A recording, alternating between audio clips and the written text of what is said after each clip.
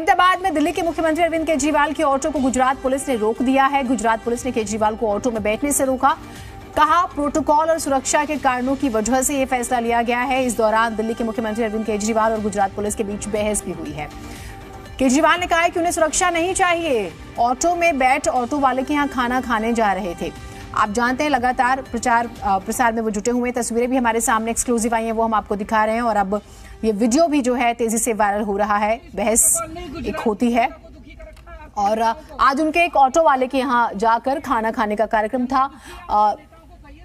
सुबह से ही इस बात की चर्चा भी थी और जो ऑटो वाले की तकलीफ़ है, परेशानियाँ हैं स्पेशली जो इस वर्ग से जुड़े हुए हैं, जो ऑटो चलाते हैं नौकरी पेशा खासतौर से जिनका वेब काम ऑटो चलाना है तो उनकी समस्याओं से भी वो दो चार होने का जैसे उन्होंने ज़िक्र किया था।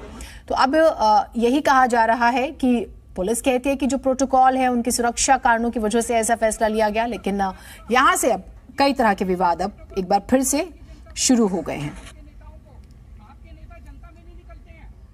जनता दुखी है आपके नेताओं को कहिए थोड़ा प्रोटोकॉल तोड़ के निकले जनता के अंदर।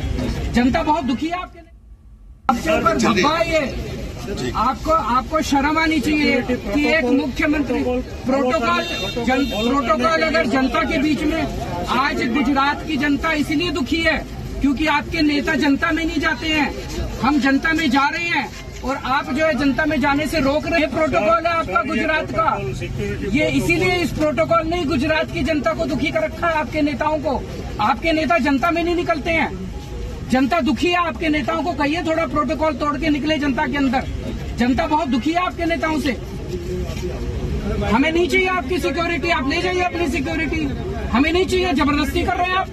आपने ऐसे कैद करके रखा हुआ हमें? सर यहाँ आपने हमें कैद कर वीआईपी सिक्योरिटी के लिए सर कम्युनिकेट हुआ है स्टेट गवर्नमेंट पर मेरे को नहीं चाहिए आपकी सिक्योरिटी आप ज़बरदस्ती दे रहे हैं सिक्योरिटी मुझे नहीं चाहिए